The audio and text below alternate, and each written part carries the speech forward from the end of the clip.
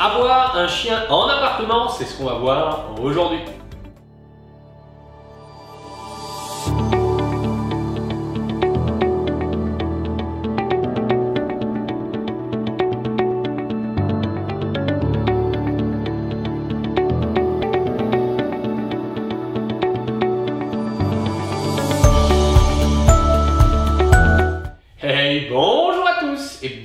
Les maîtres. Bienvenue dans cette nouvelle vidéo, c'est Vincent Marchal, l'expert canin.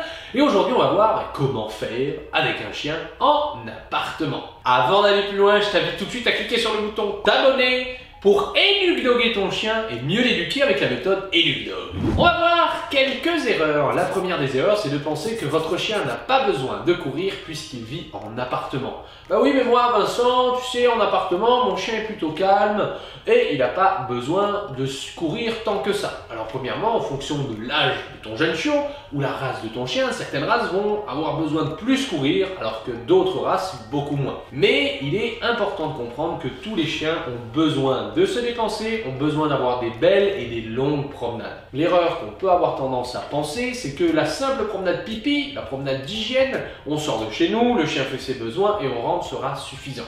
Bien, c'est un petit peu comme toi si ton week-end ne durait que 20 minutes. Je pense que tu ferais à la gueule. Il est important que les promenades soient belles et de qualité. Deuxièmement, tous les chiens peuvent vivre en appartement, que ce soit des terre-neuves, que ce soit des dogs allemands si on prend des races géantes, ou également des chiens speed. Pour ma part, j'ai vécu dans un tout petit appartement studio avec un berger australien et un berger allemand. Je leur ai appris bien sûr deux choses essentielles pour qu'ils puissent apprendre à bien vivre en appartement. La première chose que je leur ai appris, c'est à être heureux et épanoui. Et pour tout cela, je leur ai consacré du temps et des dépenses lors des promenades. En effet, à chaque fois que je sortais mes chiens, c'était des promenades sans laisse. Je faisais exprès de prendre ma voiture et d'aller dans le parc à côté de chez moi pour qu'ils puissent courir, se dépenser et je les faisais également beaucoup jouer.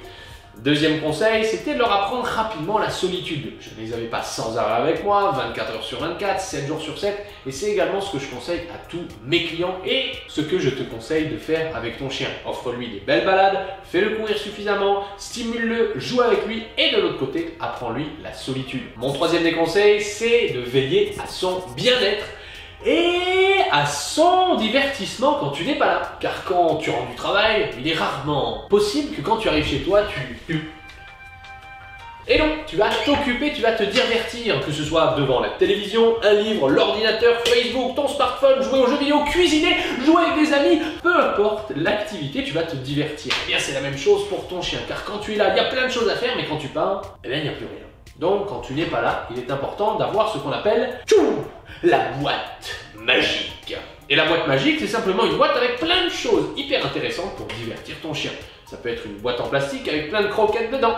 Ça peut être un os à mastiquer ou des oreilles en peau de cochon ou un jouet exprès, des balles à mâcher où tu vas mettre des friandises dedans. L'objectif va être de le divertir un maximum en ton en absence. Chaque chien sont différents, certains chiens vont être plus joués, d'autres vont être plus friandises, d'autres moins l'un et l'autre. Il faudra donc s'adapter sur ton chien. Quatrième conseil, c'est l'erreur majeure quand on a un chien qui vit en appartement et qui ne peut pas euh, vivre tout seul. En effet, un chien qu'on ne peut pas laisser seul, qui ne supporte pas la solitude, vient des mauvaises habitudes que le maître va avoir. Premièrement, on est sans arrêt 24 heures sur 24 et 7 jours sur 7 avec son chien. Forcément, ça va être très difficile pour ton chien de supporter la solitude si tu es sans arrêt avec lui. Deuxièmement, ton chien va toujours te suivre dans toutes les pièces, que tu sois dans le salon pour aller à la cuisine, de la cuisine à la salle de bain, de la chambre au salon, ton chien va te suivre partout. Donc tout cela, tu vas encore plus renforcer l'attachement, ce qu'on appelle de l'hyperattachement, et ça ne va pas pouvoir possible pour lui de lui apprendre la solitude. Je t'invite à cliquer ici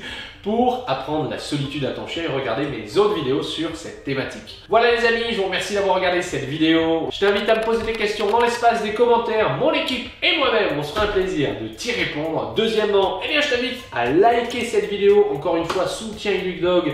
Mon objectif, c'est d'aider des milliers de propriétaires de chiens à travers cette planète et surtout de sauver des milliers de chiens sur cette planète qui ont besoin de notre aide.